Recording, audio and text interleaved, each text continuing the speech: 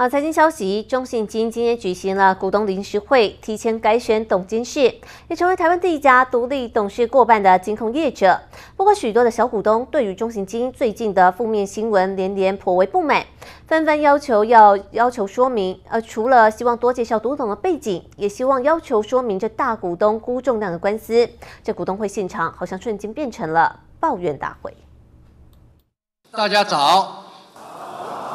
中信金八号召开临时股东会，要改选第六届董监事。不过好气氛只有一开始。你应该把这几个哈，这个董监事啊，详细介绍给股东了解一下，制作成会议记录。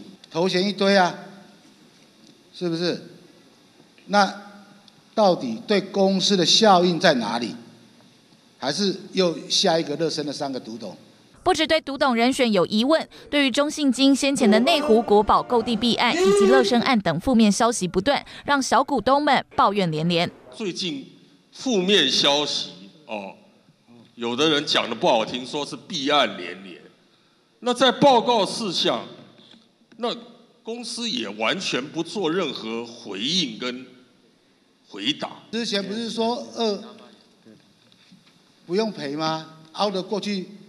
官司打到底，那为什么又赔？什么叫做道义上的责任？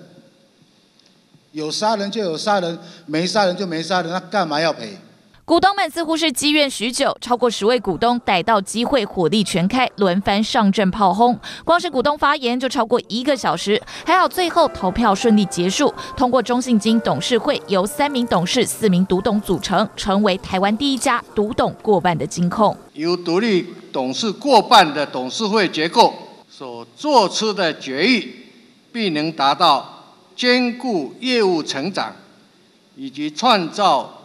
股东利益的目标。这次顾家一方面允许独董过半，另一方面却降低董事席次，由原本九席降为七席，进入董事会股权提高到百分之十五，代表未来要进入董事会的门槛变高。市场解读，顾家想要透过此举把敌意收购者挡在门外。不过从日据时代就带上台湾第一家族光环的顾家，大少、二少官司不断，只剩下三少估重力未被弊案缠身。现在辜家愿意松手，释出中信金控制权。但读懂过半，能否让中信金淡化家族色彩，回归专业决策？后市考验正要开始。